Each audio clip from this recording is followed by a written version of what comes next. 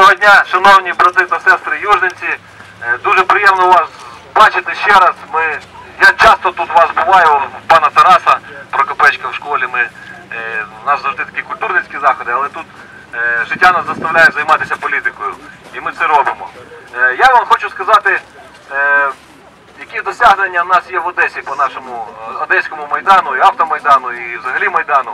Діло в тому, що на минулому на цьому тижні нас було проведено декілька таких е, вагомих акцій, які привернули багато уваги не тільки е, громадськості, але й заставили нашу обласну владу, обласне керівництво, яке зараз е, очолює представниками очолюване представниками партії регіонів, заставили їх рахуватися з нашою думкою і заставили їх робити те, що вони повинні робити.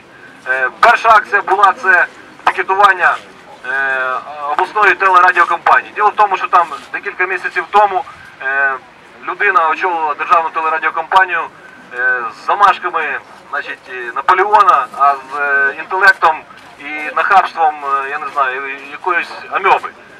То, що вони там влаштували е, між людьми, е, тими, е, журналістами, які працюють там вже років по 35, по 40, вони просто їх за людей е, не рахували. Вона їх просто за людей не рахує. І вона добилася того, що ті люди спільно з нами провели цю акцію величезну. Вони написали звернення до е, Національного комітету з питань е, радіомовлення та, та телебачення про, про те, чим вона займається, про те, що на ефіри е, е, державної телерадіокомпанії запрошуються е, маргінальні якісь особи, дуже сумнівні, які називають всіх нас фашистами, недобитками якимись. І мало того, що ми рік назад у цього Петрушки, який зараз втік в Лондон, виграли суд, коли він всіх одеситів назвав фашистами. Вони хочуть, щоб ми з ними судилися. Ми, у нас є час і натхнення, як то кажуть, як в тому анекдоті. Ми це зробимо. Е, значить, крім того, вона декілька днів ви- випуск е, новин виходив замість української, як завжди виходив. Вони е, принципово почали витісняти українську мову. І нарвались на наш пікет, який розголос був по всій Україні. В результаті зараз е, на, на кожний наш захід нашого Одеського майдану і, обласної цієї народної ради вже є присутня знімальна група Одеської телерадіокомпанії. І крім того, всі новини в звичному режимі виходять українською мовою, як і від початку заснування одеського телебачення. Того, вони ще е, перестали транслювати е, новини і, передачі на, на національних мовах. Вони перестали транслювати молдавську, галузьку, болгарську, зараз теж відновили. Ми це, все їх е, до цього ми їх примусили. Крім того, в Одесі була акція, значить, у людей забрали фактично майно, забрали автомобільну стоянку, забрали незаконним методом, просто привласнили майно. Ми людям теж так само допомогли. На жаль, ми ж не можемо за кожною людиною робити те, що він сам повинен за собою зробити. Наприклад, встати вмитися, це тільки сам за себе може зробити. Е, на жаль, поки вони, вони вирішили йти е, шляхом оцих ось судових тяганин, але ми і тут надаємо їм допомогу. Але люди вийшли, люди на майже на дві години е, перекрили проспект Добровольського в районі вулиці Махачкалінської. Це було ввечері в середу, по-моєму. І привернули до цього увагу.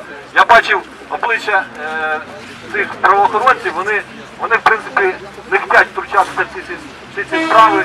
Але чому так трапилось у нас в Одесі? В Одесі за останні, на останній сесії міської ради і на виконкомах поприймалися рішення по земельним питанням. І, і ці земельні ділянки, які в нас в Одесі там зовсім небагато лишилося, вони зараз поприймали рішення і попередавали нинішнім представникам партії регіонів, щоб бігом вони розуміють, що рано ну дуже швидко в них вже такої можливості не буде прийдеться відповідати.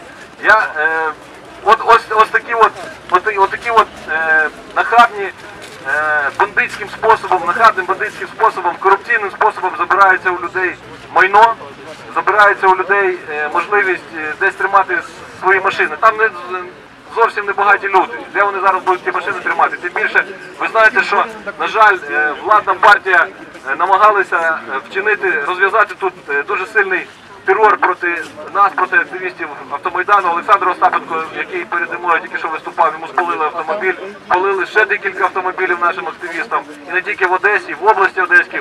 Наприклад, в Арцизі спалили одному активістові автомобіль. І от зараз тут е, ви можете побачити машина, написано міліція з народом. Це Вячеслава Медведєва машина. Ви можете подивитися на нього з тильного боку, от вона обгорівша. Це йому теж намагалися спалити, але вчасно добре, що стояла машина під камерами і людина встигла потушити.